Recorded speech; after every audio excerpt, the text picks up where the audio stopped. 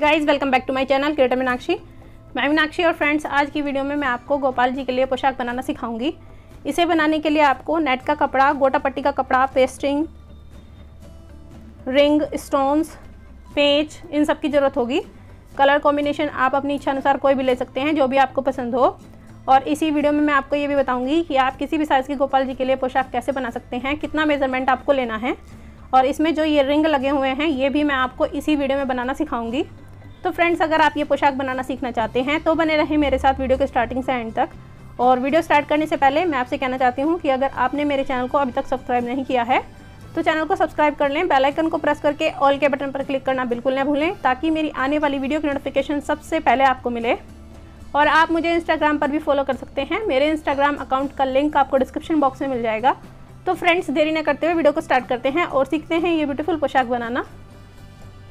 तो देखिए फ्रेंड्स, इस पोशाक को बनाने के लिए मैंने 11 इंच डायमीटर का ये बेस तैयार कर लिया है, क्योंकि ये पोशाक मैं छः नंबर के काना जी के लिए बना रही हूँ, इसलिए इसका डायमीटर मैंने 11 इंच लिया है।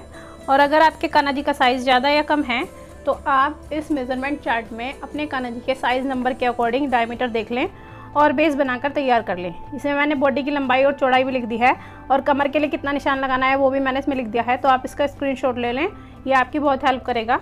और बेस बनाने के बाद जैसे जैसे मैं आपको बताती जाऊँ, वैसे वैसे आप करते जाएँ तो आप बहुत आसानी से पोशाक बनाकर तैयार कर लेंगे, आपको कोई भी प्रॉब्लम नहीं होगी। और अगर आपसे बेस बनाना नहीं आता है तो बेस बनाने की सेपरेट वीडियो मेरे चैनल पर पहले से ही अपलोडेड है, जिसका लिंक आपको डिस्क्रिप्शन बॉक्स में मिल जाएगा। आप उस वीडियो को चेक कर लें और बेस बनाना सीख लें। अब हम पोशाक बनाना स्टार्ट करते हैं। सबसे पहले हम अपने काना जी के साइज़ नंबर के अकॉर्डिंग इस पर कमर का निशान लगाएँगे। तो छः नंबर के गाना जी के लिए ज़ीरो पॉइंट एट इंच का निशान लगाते हैं। पहले हम इसको इस तरीके से फोल्ड कर लेंगे।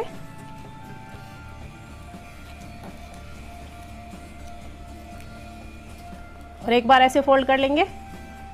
और ऐसे फोल्ड करने के बाद यहाँ पर हमें निशान लगाना है।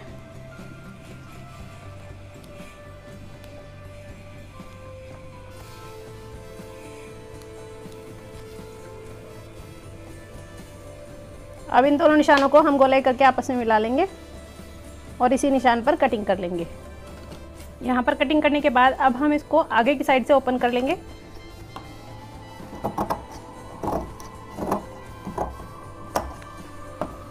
और ये देखिए कटिंग करने की वजह से ये खुल गया है तो हम इसको सिलाई लगाकर अटैच कर लेंगे। तो यहाँ से यहाँ तक, यहाँ से यहाँ तक और यहाँ से यहाँ तक हमें सिलाई लगा लेनी है। तो चलिए लगा लेते हैं, फिर बताते हैं आगे क्या करना है। ये देखिए, यहाँ पर सिलाई लगाकर मैंने इसको अटैच कर लिया। अब हम इसे डेकोरेट करेंगे। तो इसे डेकोरेट करने के लिए हम नेट के कपड़े में से तीन इंच लंबाई चौड़ाई के स्क्वायर पीस कट कर लेंगे। तो चलिए कट कर लेते हैं, फिर बताते हैं आगे क्या करना है। ये देखिए, मैंने येलो कलर की नेट में से स्क्वायर पीस कट कर लिए हैं। अब हमें क्या करना है? इनमें से एक पीस लेना है और उसको इस तरीके से फोल्ड कर लेना है। ऐसे फोल्ड करने के बाद यहाँ से सुई धागे की हेल्प से हम सिलाई लगाना स्टार्ट करेंगे। यहाँ से यहाँ यहाँ यहाँ तक। सिलाई लगाकर इसको तैयार कर लेंगे।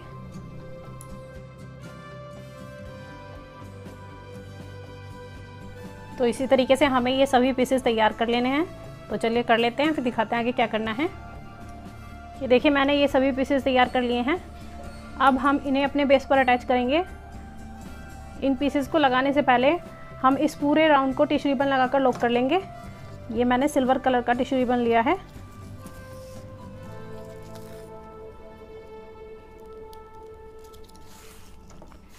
ये देखिए किस तरीके से लॉक करना है।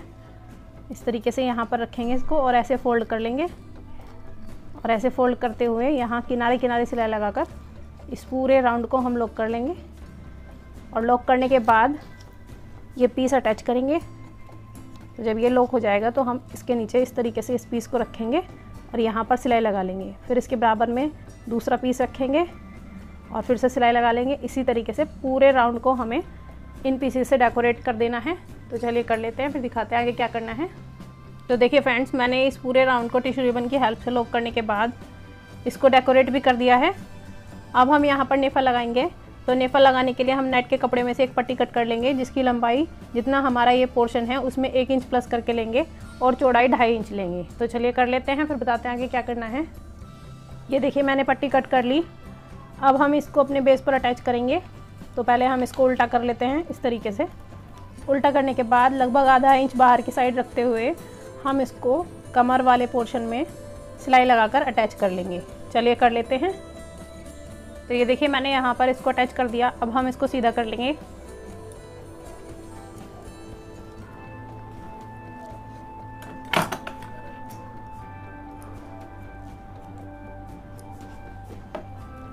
और सीधा करने के बाद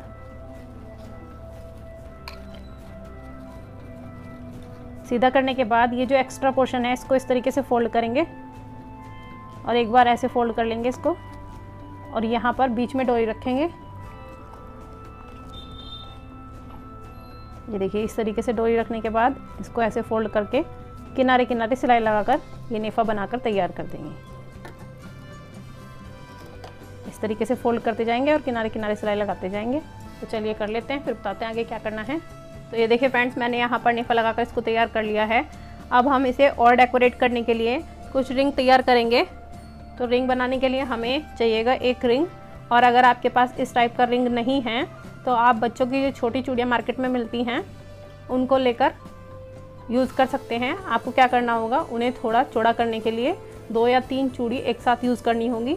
ये पहले से ही काफ़ी चौड़ा है तो इसमें तो हमें एक से ही काम चल जाएगा। और उसके बाद चाहिए कि हमें एक प्लाई की ऊन। मैंने उस ऊन को पाँच पोर्शन लेकर इस तरीके से एक साथ ले लिया है। ये देखिए। अब हमें क्या करना है? इसको इस तरीके से डबल करना है। ऐसे डबल करने के बाद हम इसके अंदर से इस तरीके से इसको बाहर निकालेंगे। और ये वाला पोर्शन इसके अंदर डाल देंगे। यानी कि एक तरह की नॉट हमें यहाँ पर लगानी है। अब टाइटली धागे को इस तरीके से खींच लेंगे। ये धागा इस तरीके से हमने इसमें जॉइंट कर लिया और जॉइंट करने के बाद हम ये पूरी ऊन इसके ऊपर लपेट देंगे। थोड़ा फैलाते हुए लपेटेंगे।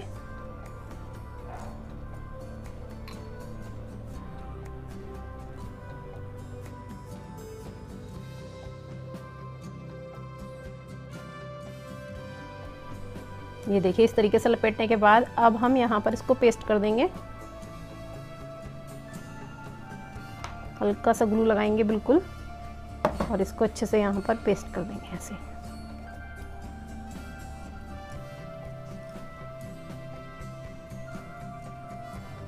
अब हमें क्या करना है? इसके ऊपर गोटा लगाना है। तो ये मैंने बारीक गोटा लिया है। इसके ऊपर हम इस तरीके से इसको लगाएँगे। पहले इसे भी हम किनारे से पेस्ट कर लेते हैं इसके ऊपर।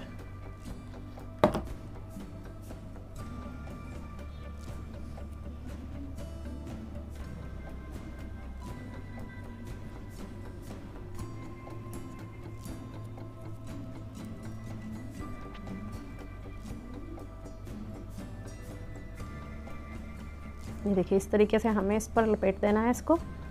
तो ये बहुत सुंदर डेकोरेशन आइटम बन जाएगा। आप इनको किसी भी चीज़ में यूज़ कर सकते हैं। कोई भी चीज़ डेकोरेट करने के लिए यूज़ कर सकते हैं। और बनाना भी डिफ़िकल्ट नहीं है। देखिए, बहुत इजीली ये बनकर तैयार हो गया है। यहाँ पर आकर फिर से हम इसको पेस्ट कर देंगे।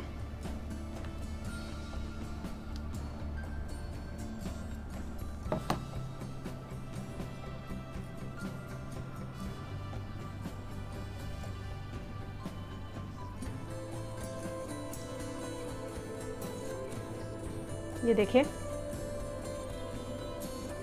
इसी तरीके के हमें काफ़ी सारे रिंग बना लेने हैं और डिफरेंट डिफरेंट कलर के बनाने हैं। तो चलिए बना लेते हैं, फिर बताते हैं आगे क्या करना है। तो ये देखिए फ्रेंड्स मैंने काफ़ी सारे रिंग बना लिए हैं।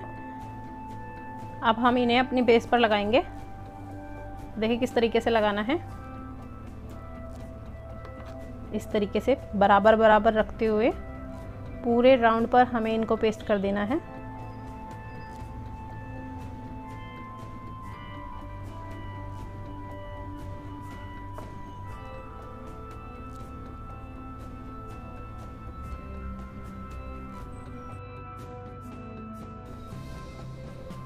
तो चलिए कर लेते हैं।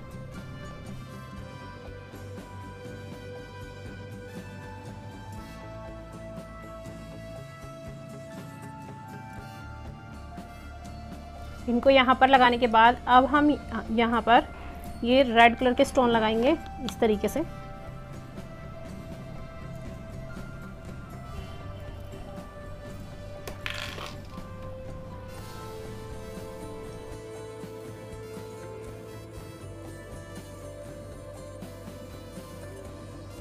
देखिए फ्रेंड्स ये स्टोन्स मैंने यहाँ पर लगा दिए हैं। अब हम यहाँ पर ये लच्छी लगाएँगे, ये देखिए। इस तरीके से यहाँ पर इसको हमें लगा देना है। तो हम पहले थोड़ा सा ग्लू लगा लेते हैं।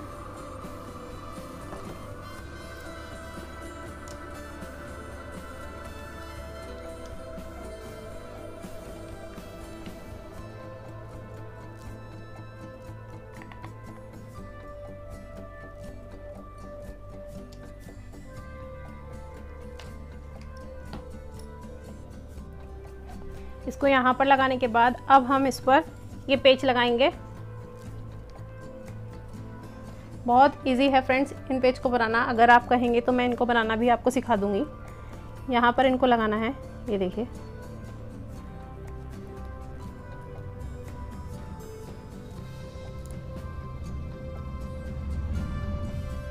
इस तरीके से। तो चलिए लगा लेते हैं।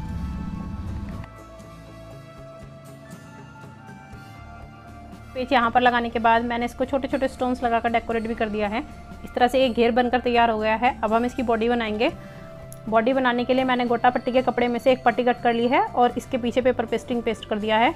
आप भी मेज़रमेंट चार्ट में अपने काना जी के साइज़ नंबर के अकॉर्डिंग बॉडी की लंबाई और चौड़ाई देख लें और ये पट्टी कट कर लें। अब हमें क्या करना है? इसको इस तरीके से फोल्ड करना है और एक बार ऐसे फोल्ड कर लेना है। ऐसे फोल्ड करने के बाद यहाँ से हम इसको तिरछा कट करेंगे। तरीके से। तिरछा कट करने के बाद यहाँ पर हमें इसकी नेक कट करनी है। नेक ना तो ज़्यादा छोटी कट करनी है और ना ज़्यादा बड़ी। इस तरीके से ये देखिए। अब हम इसको एक साइड से ओपन कर लेंगे। और हल्की हल्की गोलाई दोनों साइड कर देंगे।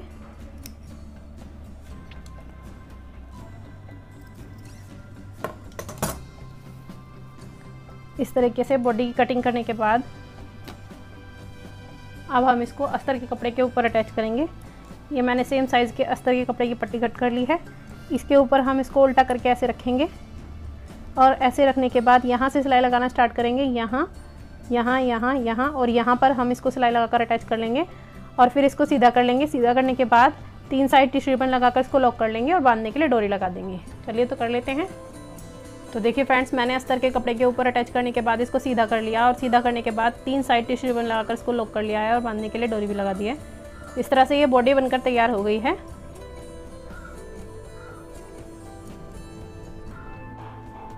तो फ्रेंड्स ये पोशाक बनकर तैयार है। आप मुझे कमेंट करके बताएँ कि आपको ये पोशाक और मेरे सिखाने का तरीका कैसा लगा। वीडियो अगर पसंद आए और आपके लिए थोड़ी भी यूज़फुल रही हो तो वीडियो को लाइक करें, अपने फ्रेंड फैमिली के साथ शेयर करना बिल्कुल ना भूलें। और आगे भी ऐसी ही वीडियो देखने के लिए मेरे चैनल को सब्सक्राइब कर लें बेल आइकन को प्रेस करके ऑल के बटन पर क्लिक करना बिल्कुल ना भूलें, ताकि मेरी आने वाली वीडियो की नोटिफिकेशन सबसे पहले आपको मिले। तो फ्रेंड्स आज के लिए इतना ही। मैं मिलती हूँ आपसे अपनी नेक्स्ट वीडियो में। तब तक के लिए keep creating and keep smiling